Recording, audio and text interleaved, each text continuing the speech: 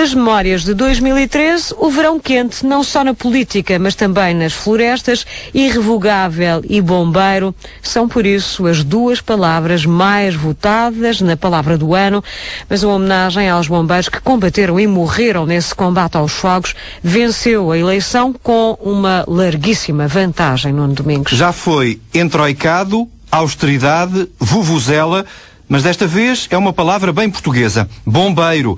Conseguiu quase a maioria absoluta na votação promovida pelo site Infopédia da Porto Editora. 48%. No ano em que teve um verão trágico, com oito bombeiros mortos nos fogos florestais e que terminou com bombeiros de Setúbal, seminus, estrelas de um calendário polémico. A votação é aparentemente uma homenagem, não a um bombeiro, mas a todos.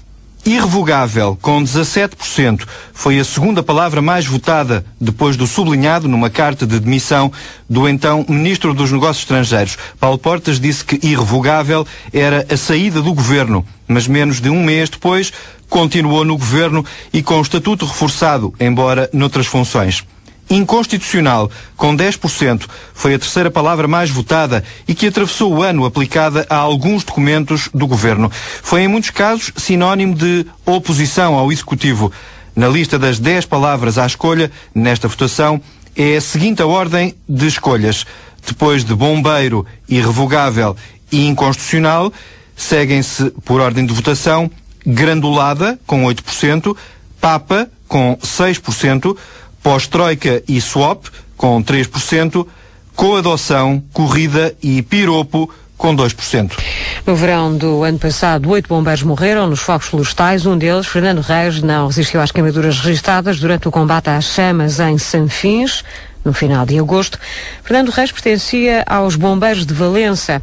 Veiga Rodrigues, o comandante desta corporação, olha para estes 48% da votação na palavra bombeiro e até acha que é pouco porque os bombeiros nem sempre têm o reconhecimento merecido. Eu penso que sim, mas uh, a votação devia ser ainda mais forte, porque, independentemente dos bombeiros, uh, alguns terem perdido a sua vida no combate a incêndios, enquanto os portugueses estão a descansar, os bombeiros estão sempre no terreno, quer de verão, quer de inverno, uh, prontos a ajudar o seu semelhante. Os bombeiros sentem-se reconhecidos pela população portuguesa?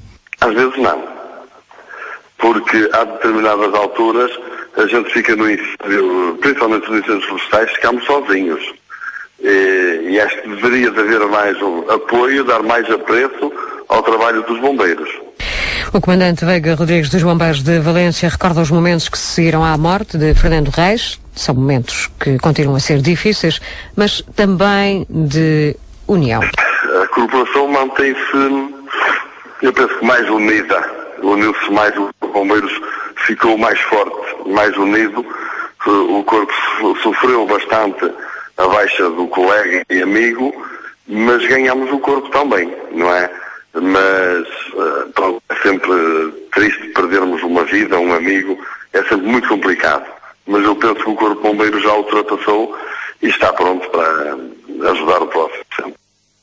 Comandante Veiga Rodrigues dos Bombeiros de Valência do Minho, uma das corporações marcada pela tragédia dos fogos de verão no ano passado,